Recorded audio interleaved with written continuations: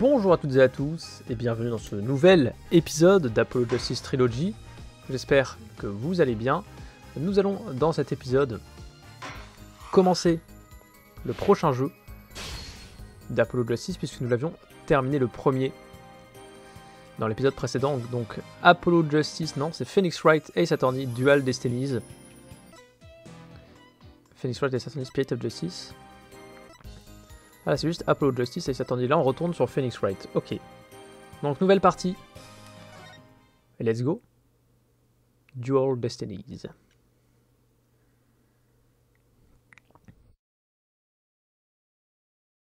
Alors, comment ce jeu va-t-il commencer? On a carrément une cinématique. On n'a jamais eu de cinématique euh, dessinée comme ça, si? Ça me dit rien. Ça a quand même pas explosé. Le juge. Ouah.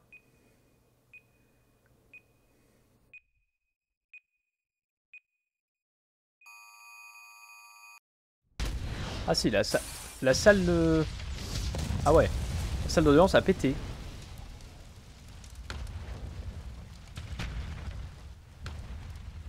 Waouh. Non, je confirme, on n'a jamais eu de cinématique animée comme ça. Nous vivons des moments difficiles. La justice est devenue un champ de ruines. On n'a jamais eu de doublage non plus. qu'il revient de lui rendre sa gloire passée. Qui est-ce? Oui, tu as raison. Il semblerait que ta cible se soit enfin décidée à agir. A pas Phoenix Wright qui parle là. Ne t'inquiète pas. J'ai justement une nouvelle associée. Ah bah si, faut croire que si.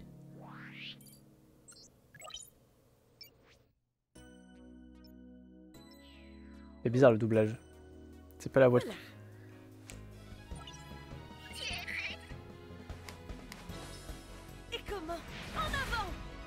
C'est pas la voix de Phoenix Wright euh, de Professeur Lighton versus Phoenix Wright. Ça fait six mois qu'elle nous a rejoints, même si j'ai encore du mal à le réaliser. En tout cas, ses capacités pourraient bien nous sauver la mise. D'accord. Qui est-ce donc? Lol. Ok, elle a tout. Elle a tout pour être euh, membre de la Phoenix Wright. Oui. C'est bien pour ça que je suis revenu. Il est temps d'y mettre un point final. Ah, ok, Phoenix Wright. Je sais pas à qui tu parles. Vérité. Dans ton médaillon. Ton badge d'avocat. Incroyable, t'es redevenu avocat.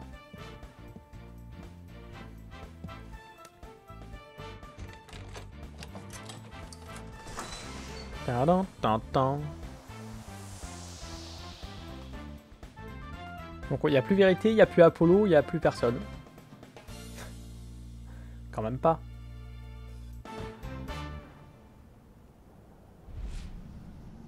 Bon, tu es qui toi? Apollo Justice. Ah bon. D'accord.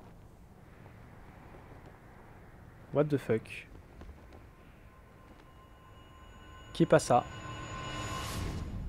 Qui est pas ça Apollo Justice? Et quoi? Pardon Mais... Euh, épisode 1, volte-face à rebours. C'est quand même pas toi qui as mis la bombe. Apollo. Tout de même. Eh eh eh. Ce que j'adore avec les bombes, c'est qu'elles détruisent tout sans discernement. Non, ça perd d'être Apollo. Boum. Il était juste là en mode euh, qu'est-ce qui se passe? Mais il avait un flot d'enfer par contre. Hein. Et maintenant, plus qu'à faire porter le chapeau à cette gamine. Ah. Faire porter le chapeau à la vérité, c'est ça? Le 17 décembre à 9h22 au tribunal, salle des accusés numéro 5. Athéna donc. Hmm, non, je ne suis pas du tout stressé. Je me sens comme un poisson dans l'eau. Une eau sous pression. Tout va bien, Athéna. Il faut bien qu'on ait un tutoriel, je rappelle. Une affaire de tuto. Apollo Justice. Pourquoi t'as perdu un œil? Qu'est-ce qui va pas? Pourquoi t'as des... T'es brûlé au cinquième degré? Oh, Apollo Qui est pas ça? Tu fais partie de... C'est quoi cet habit maintenant? T'es un procureur T'es quoi? C'est quoi le délire là? Yes, ça va. Et je dirais même plus, tout baigne. Ah bon? Alors me voilà rassuré. Par contre, j'aurais juré avoir entendu ta voix se briser pendant un court instant.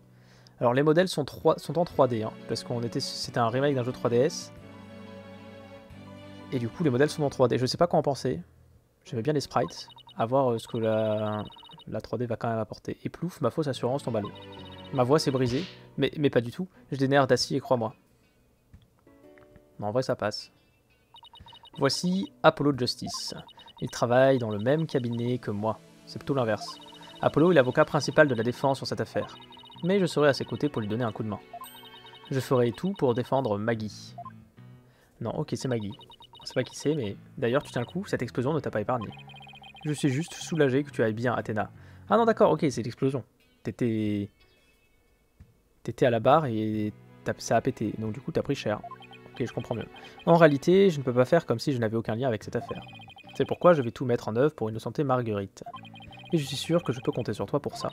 Exactement, je lèverai tous les soupçons qui pèsent sur Maggie. Mais c'est qui ça, Marguerite? Apollo? Théna? Ok, donc c'est donc, donc toi a priori. Merci de votre aide à tous les deux. Maggie?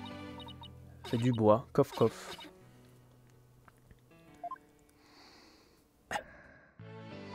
Respire des fleurs. Et ça va hmm, Désolé, j'ai toujours des quintes de tout quand je suis stressé. Ça n'arrive jamais... Ça n'arrive jamais quand je suis chez moi, en forêt.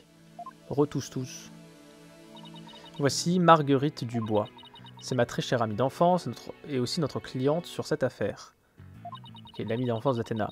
La presse n'arrête pas de marteler que Maggie est suspectée d'être la poseuse de bombes. Mais c'est ridicule, Maggie n'aurait jamais pu faire une chose pareille.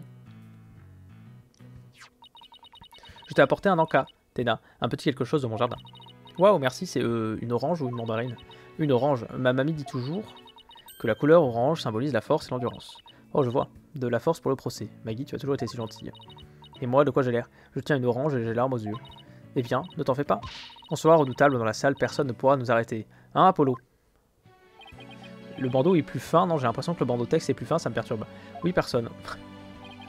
quoi qu'il arrive, c'est le procès. Euh, j'ai pas vu l'arrive. J'ai pas vu la suite. Ok, Apollo se casse la gueule. Évidemment, il n'y aura pas d'Apollo. Apollo Apollo euh, Quoi qu'il arrive, c'est le procès qu'il ne faut pas perdre. Et, évidemment, étant dans les pommes. Du sang s'écoule de ses bandages. L'une de ses blessures a dû se rouvrir. Il essaye de faire bonne figure depuis tout à l'heure, mais il atteint sa limite. Mais Phoenix Wright, tu veux pas venir? Monsieur Justice Hein? Le procès va commencer, veuillez entrer dans la salle d'audience. Quoi, maintenant Mais Apollo n'est absolument pas en état. Euh, je, dois défendre Marguerite. Mais qu'est-ce qu'on va faire? Le procès est sur le point de commencer, avec ou sans nous? Je, ne vois qu'une seule solution à ce problème. Mais même si je faisais appel à lui, maintenant, il n'arrivera jamais à temps. Non, il y a autre chose que je peux faire. Apollo, donne-moi le dossier de l'affaire. Quoi? Mais qu'est-ce que tu comptes en faire? Officier. Oui, mademoiselle. La défense souhaiterait soumettre une demande de changement d'avocat. Théna? Tu ne vas quand même pas... Contente-toi de guérir toi, je vais défendre Maggie. Toute seule, Athéna, mais tu réalises ce que tu es en train de dire Tu n'as jamais été seule sur une affaire, n'est-ce pas? No high problem, ah, je gère. Enfin, je crois. mais c'est à toi de décider, Maggie. Tu veux bien que je m'occupe de ta défense? Hmm, D'accord. J'ai confiance en toi, Athéna, c'est tout ce qui compte. Tu t'inquiètes pour moi, pas vrai? Pour être honnête, j'ai un peu le trac. J'ai l'impression que mon cœur va exploser. Mais tu n'es pas en état de monter sur les bancs pour l'instant. Alors laisse-moi m'en occuper. Bon, d'accord. Je vois que tu as déjà pris ta décision. Ça m'embête de ne pas être là, mais je sais quand même que tu feras ton maximum pour défendre Marguerite. J'y compte bien, fais-moi confiance. Et elle est où, euh, vérité? Je m'appelle Athenac Sykes. Sykes. Ouais, Sykes, Sykes. Bref, j'ai beau débuter dans le métier, je suis avocate. C'est la deuxième fois que j'officie en tant qu'avocat principal. Sauf que cette fois, je serai seul sur le front. Mais je dois le faire. Je dois protéger Maggie à tout prix. Comment ça, tout un instant.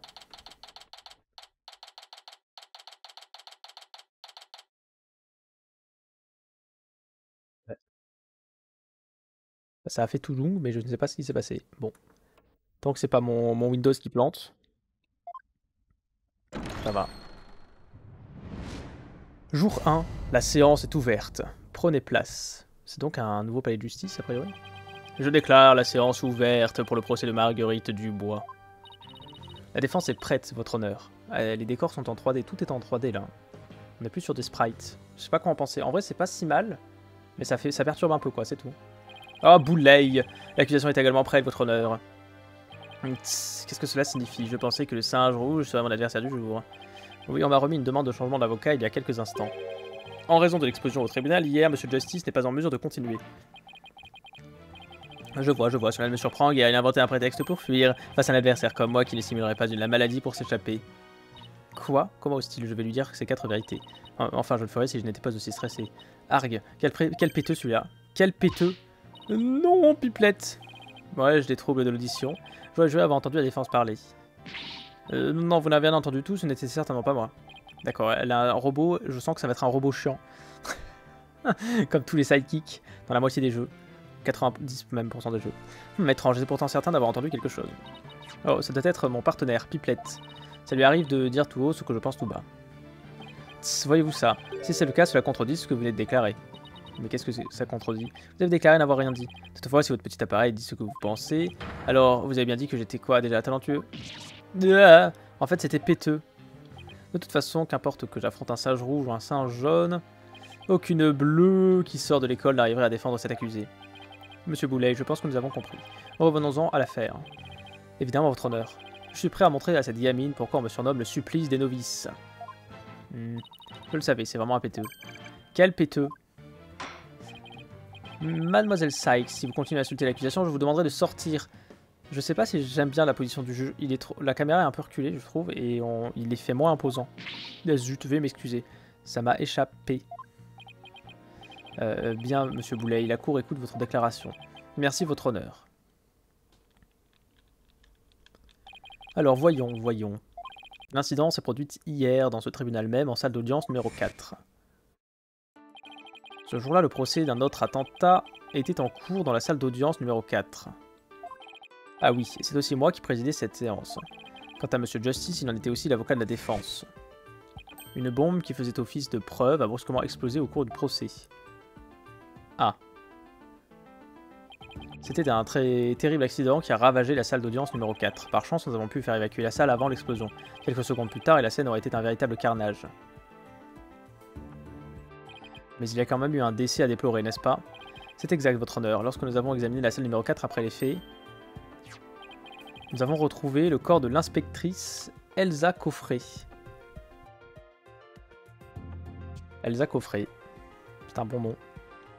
Dame, donc il y a quand même eu un meurtre du coup. Elle devait témoigner plus tard dans le procès, évidemment. J'imagine qu'elle n'a pas pu sortir à temps, c'est vraiment tragique. Je dois avouer que j'ai trébuché au moins dix fois avant de pouvoir sortir. Euh, on devrait peut-être vous donner des robes moins longues. le corps de la victime a été retrouvé près de l'entrée de la salle. Je pense qu'elle est restée jusqu'à la fin pour aider les autres à sortir. Votre honneur, permettez-moi de soumettre le rapport d'autopsie de la victime, ainsi que des détails sur la bombe. Rapport d'autopsie, de coffret ajouté au dossier de l'affaire. Cause du décès, traumatisme crânien provoqué par un objet plat. Heure du décès entre 8 et 11 heures. Eh ben dis donc. Coupable. La bombe à retardement qui a détruit la salle d'audience, elle était dissimulée dans un animal en peluche lorsqu'elle a explosé. Ok, révisons les bases. Toutes les preuves sont rangées dans le dossier de l'affaire. Si je veux en consulter une, je n'ai qu'à appuyer sur R. Je jetterai un coup d'œil plus tard. Bien, vous pouvez appeler l'accusé à la barre. Hmm, tous, tous. Vous allez bien, mademoiselle, je vous trouve un peu pâle. Veuillez m'excuser, je me sens un peu faible depuis que je suis arrivé au tribunal. Mais je, vais bien. Maggie se donne vraiment à fond, je devrais en faire de même.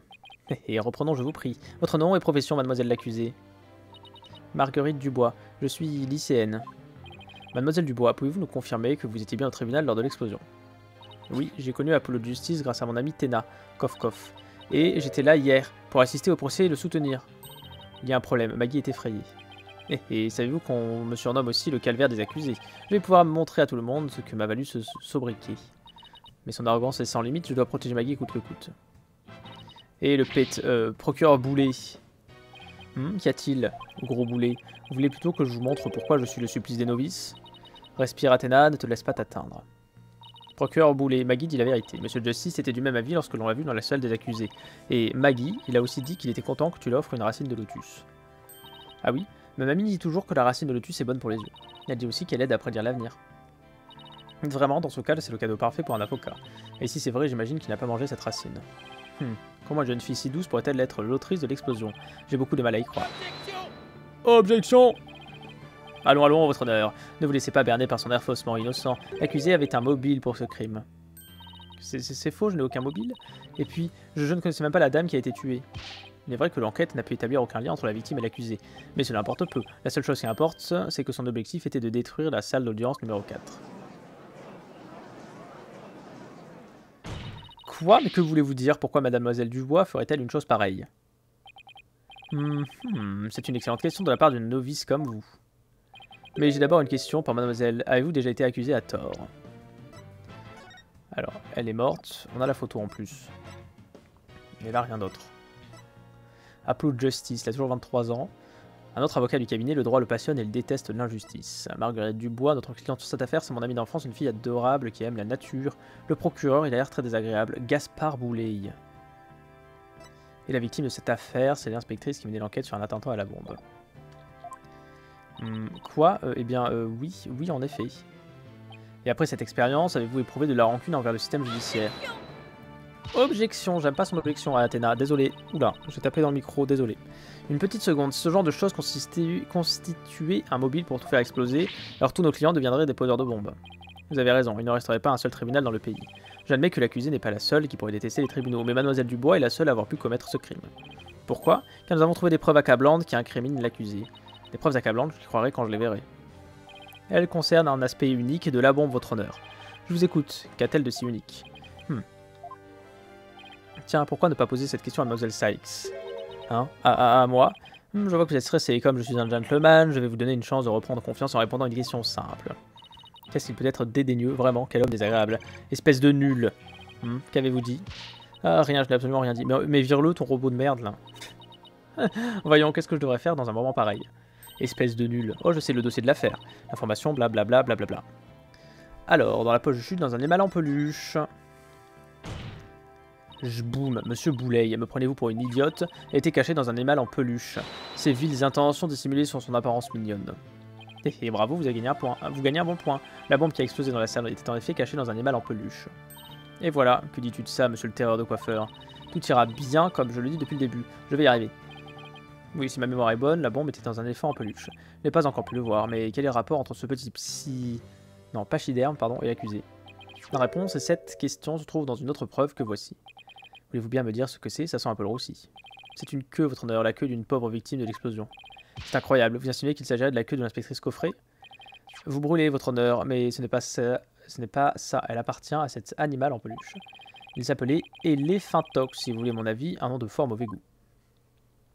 Je le reconnais, c'est la mascotte de cette campagne contre les accusations mensongères. Campagne, pardon. Tout à fait, avec comme slogan Les intox, ça trompe énormément. Ils doivent avoir une équipe marketing composée d'enfants de 5 ans. Probablement. La queue intox est fabriquée en vinyle. Et nous avons trouvé une chose très intéressante dessus, les empreintes de l'accusé. Que, que quoi? Elephantix, Elephantox a fourni à l'accusation toutes les preuves dont elle avait besoin. Il prouve clairement que l'accusé a posé la bombe. Je... Le gars Aïe. Ça par contre c'est stylé la vue. Caméra là. Mais ça n'a aucun sens. Que font les empreintes de Maggie là-dessus? Hmm, Cela me semble être une preuve irréfutable. La cour accepte cette pièce à conviction. Que d'éléphants tox ajoutés au dossier de l'affaire. Un morceau de la peluche dans laquelle se trouvait la bombe. Les empreintes digitales de l'accusé y, ont été relevées. Alors ça fait péter... Vous allez me dire que ça fait péter le tribunal, mais qu'il reste un débris de la peluche, quoi. Un peu du foutage de gueule. Mademoiselle Dubois, avez-vous une explication? Je, ne comprends pas, je coff coff. Et vous, Mademoiselle Sykes, auriez-vous une explication plausible pour réfuter cette pièce à conviction? Euh, Eh bien, je n'y arrive pas. Rien ne me vient. Mais j'ai intérêt à vite trouver quelque chose, sinon Maggie... Sniffou, sniffou. Sinon Maggie égale goût. Hein. C'est trop difficile, nous pouvons directement passer au verdict si vous voulez. Ah non, je veux dire quelque chose, et vite. Hmm. Oh non, je n'ai plus de voix. Pourquoi ça m'arrive maintenant Ah. Tu as des problèmes. Je pensais avoir déjà surmonté ça. Je ne suis peut-être pas encore prête. Aïe. Tu as été accusé à tort dans un procès? Splatch. Oula. Hmm. Karuma.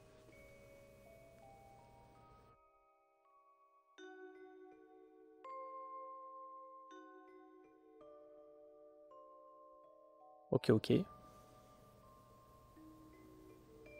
Coupable. Comme vous le voyez, tout Mhm. débat est inutile. Bon, Phoenix. Objection Merci, Phoenix. Il était temps. Mais c'est vous? Oh, le juge. Ben oui, c'est vous.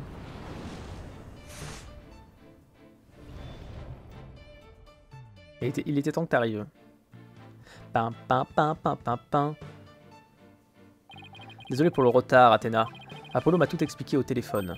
Il m'a demandé de venir t'aider à sa place. Merci d'être venu. Ça m'embête de l'admettre, mais j'avais vraiment du mal toute seule. Tu ne dirais pas ça, je trouve que tu t'en sorti- sortais plutôt bien.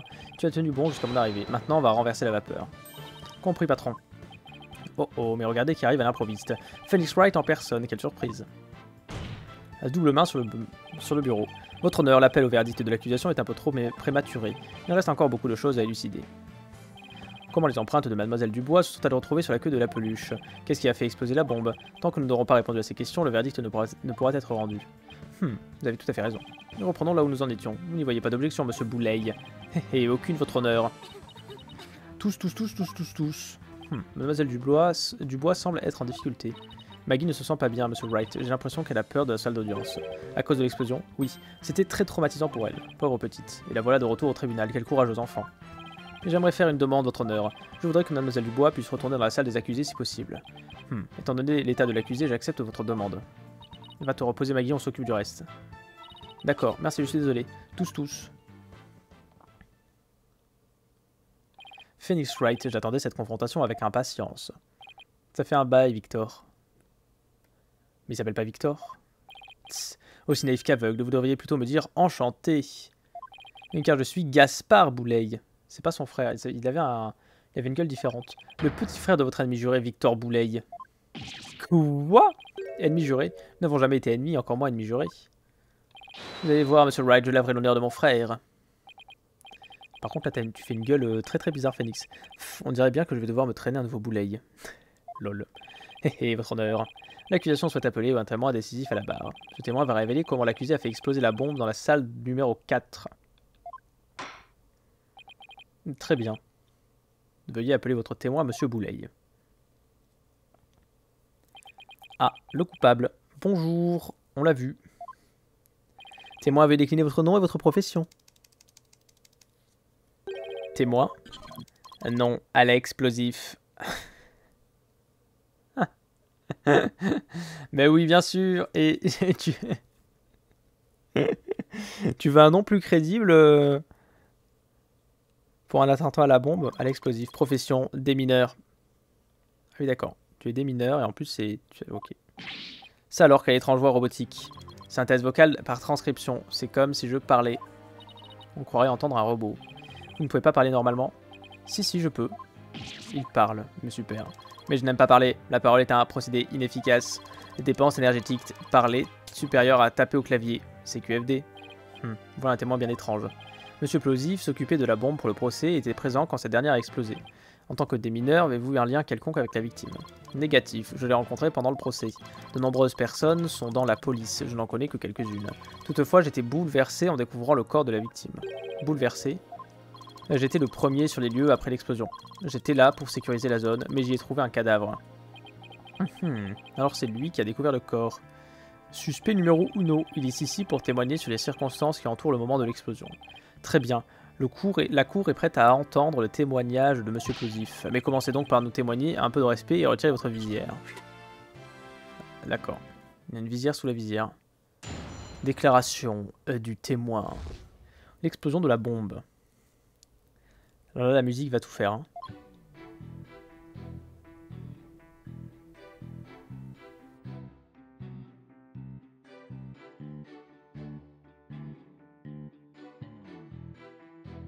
Sais pas. Ça change. Ça change clairement. hein. On reconnaît le- la mélodie, mais... En vrai, c'est pas mal. Faut s'y habituer, mais je pense que c'est pas mal.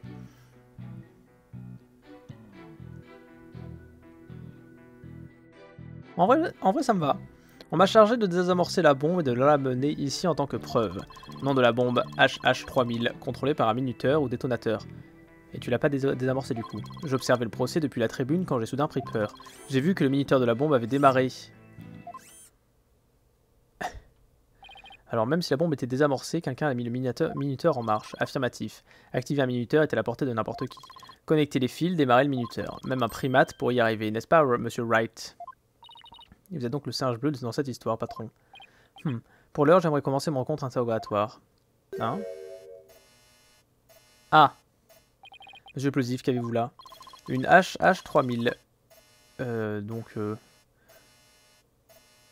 Alors, IE, ça doit être euh, information... ou je sais pas quoi. Je sais pas, une bombe, bref. Une bombe? Mais ça, perle... ça perlote. Euh, Bouargue Monsieur Plosif, je vous ordonne de désamorcer cette bombe immédiatement. Démontage terminé. 5,3 secondes, 0,2 secondes près de mon record personnel. Vous voulez que je fasse une crise cardiaque? Je ne suis pas tout jeune, vous savez. Ceci est la réplique exacte de la HH3000. Elle sert d'entraînement au désamorçage. Désamorçage égale réussite. Explosion égale échec. Une reproduction de la bombe qui a explosé, dites-vous. C'est donc à cela qu'elle ressemble. J'ai remis une photographie de la vraie bombe prise avant le procès. Euh, pourquoi le minuteur il est pété hein? Taille 25 cm, poids 5 kg 4, une copie parfaite. En effet, votre bombe ressemble à y méprendre à la vraie. Oui, cela dit, je n'ai pas pu reproduire le système principal. Malgré mes tentatives, le câblage du mécanisme reste un mystère. Il suffit témoin, vous n'avez pas besoin de reproduire quoi que ce soit ici. Bombe HH3000 mise à jour dans les dossiers. Maintenant, sa défense veut bien commencer son contre-interrogatoire. Ok. Hmm. Quoi donc? Mais où est passée Mademoiselle Sykes? Athéna, tu peux sortir maintenant. Bon, bien, Monsieur Wright, let's go to work. Ça t'a fait peur, hein euh, Quoi Je ne vois pas de quoi vous voulez parler. Elle, aimait elle allait prendre la fuite. Et ferme donc la plaie, pipelette. Hmm. On lit en elle comme dans un livre ouvert. Bon, alors, où, en étions-nous? On était au contre-interrogatoire. Oh, le contre-interrogatoire, bien sûr. Elle a l'air un peu perdue, je me demande si elle va bien. Je devrais demander à Athéna si elle se souvient comment contre-interroger interroger un témoin. Non, elle s'en sortira. Non, pas besoin, elle s'en sortira très bien, je ne veux pas faire le tuto. Je suis là pour vous aider. Si vous ne trouvez pas de contradiction et que vous faites trop de gaffe, n'hésitez pas à me demander un coup de main. Appuyez sur X lorsque l'option consulter apparaît. Je vous dirai quelle est la déclaration suspecte selon moi. Très bonne idée, je compterai sur toi si je me retrouve dans une impasse. Bon, c'est l'heure du contre-interrogatoire. Mhm. L'explosion de la bombe. On m'a chargé du désamorçage du transport de la bombe au tribunal. Un instant Euh, Vous dites avoir désamorcé la bombe, mais êtes-vous vraiment sûr qu'elle était désamorcée? Absolument, je peux désamorcer n'importe quoi. En un clin d'œil. Hmm, ça ressemble plus à un démontage qu'à un désamorçage. Oh, excusez-moi. Hmm, auriez-vous pu oublier de désamorcer la bombe? Impossible, je ne commets jamais d'erreur dans mon travail. On dit pourtant que l'erreur est humaine. Mais bon, si je ne suis pas vraiment sûr qu'il soit humain. Si vous voulez tout savoir, monsieur Wright, d'après les archives judiciaires, le désamorçage de la bombe a été officiellement confirmé. Hmm, je suppose que je peux éc- écarter l'hypothèse de l'oubli. Pourriez-vous nous parler plus en détail de la bombe, monsieur Plosif? Assurément. Tintin, tin, nom de la bombe HH3000 fonctionne avec minuteur ou détonateur. Quelles étaient sa taille et son poids approximatif? Taille 25 cm et 5 kg. Ces informations sont également indiquées sur la photographie. Ah oui, elles sont écrites au dos. D'après la photo, la boîte est fabriquée en alliage d'une épaisseur de 7,94 mm. Ça m'a tout l'air d'un métal très épais et lourd. Je parie que si vous, la faisiez tomber sur le pied, vous bondiriez jusqu'au plafond. Et si tu la faisais tomber tout court, je bondirais jusqu'à la sortie. Oui. Bien, je pense que la cour connaît suffisamment d'informations sur la bombe. Donc, monsieur Plosif, vous surveillez la bombe. Où étiez-vous? J'observais le procès depuis la tribune quand j'ai soudain pris peur. Ah, il y a une deuxième page, effectivement. Dimension 25 cm par 25 cm par 25 cm. 5 kg 5. Boîtier 12-30 cm, plaquage alu. Ok. Tan, tan, tan, tan, tan. Il était brisé pourtant. Un instant. Pourquoi étiez-vous dans la tribune? Mon travail était terminé pour l'instant, mais je voulais monter la garde. La bombe était désamorcée, mais on ne jamais, n'est jamais trop prudent. Les dispositifs explosifs sont extrêmement dangereux. Ah, C'est très admirable de votre part, vous êtes un exemple à suivre. Chaque jour, je m'entraîne à désamorcer des bombes. Je vais pas nous le faire à chaque fois. Je m'entraîne aussi à les assembler. Ah Je comprends le désamorçage, mais pas l'assemblage. Eh bien, sachez que je m'entraîne chaque jour à défendre mes clients. Je vois, mais vous êtes-vous déjà entraîné à vous défendre, vous? Me défendre moi, quoi? Non, je... Alors, vous n'êtes pas encore une vraie professionnelle, n'est-ce pas? Oh, mais ça suffit, je vais m'entraîner chaque jour à défendre mon propre cas. Je vous conseille de boire du café, patron, on va y passer toute la nuit. Euh, je ne crois pas que ce soit nécessaire, et ça n'en vaut pas la peine. Et donc, monsieur Plosif, qu'avez-vous vu depuis la tribune? Euh, Grosse jumelle. Il y a que des personnages qui n'ont ni queue ni tête dans Phoenix Wright. Il va falloir qu'on se remette dedans avec ce procès d'initiation de ce second jeu. Pour l'heure, on va s'arrêter là. On se retrouve dans le prochain pour la suite de ce premier procès. Ciao ciao tout le monde.